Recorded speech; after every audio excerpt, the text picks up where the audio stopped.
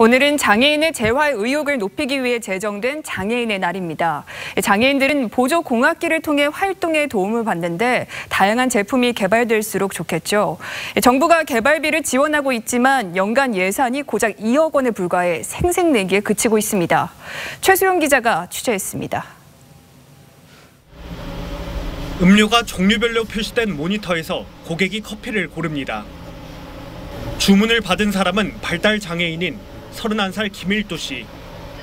장애인용으로 제작된 포스기의 안내에 하나하나 따릅니다. 발달 장애인도 손쉽게 계산할 수 있도록 보시면 계산대한 모니터엔 각 화폐권이 뜹니다. 거주름도 500원입니다. 감사합니다. 시각장애인 정유라 씨는 스마트폰 등에 연결해 쓸 수 있는 특수 키보드를 사용해 일을 합니다.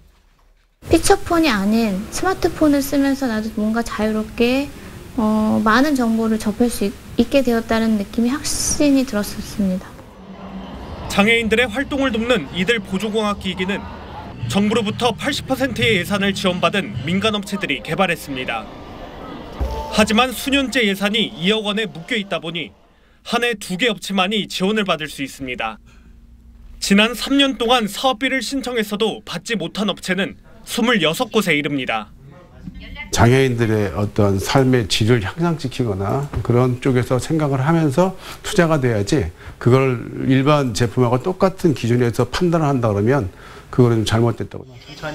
AI와 5G 등 최첨단 기술을 접목한 다양한 보조공학 기기 개발을 위해서도 지원 예산을 늘려야 한다는 지적이 나옵니다.